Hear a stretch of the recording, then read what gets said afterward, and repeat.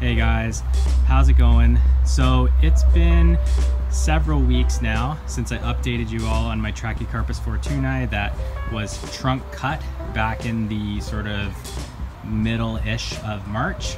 And here it is today on May the 18th. We're in a very warm stretch of summery weather and it is now just exploding. So you can see this is sort of the first fan that has come out. It's mostly damaged from the mice that uh, attacked it during the wintertime. You can see another frond here, just sort of like a tiny one. And uh, you've got some petioles that came out without leaves. And you can see this really strong major spear that's coming up the middle.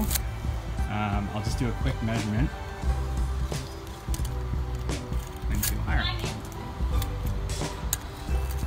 So uh, it looks like it's come up just under seven or just around seven inches since cutting the trunk.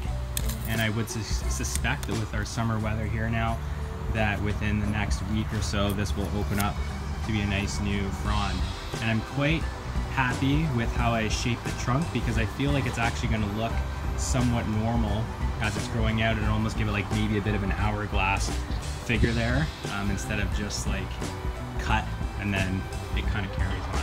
So I'll just take you around to the front and you can see how the windmill is doing there.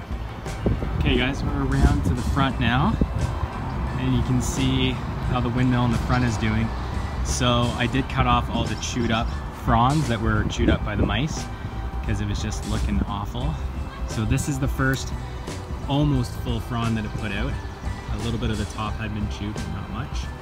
And then this would be the second frond coming out here that is completely undamaged because that was protected in the crown.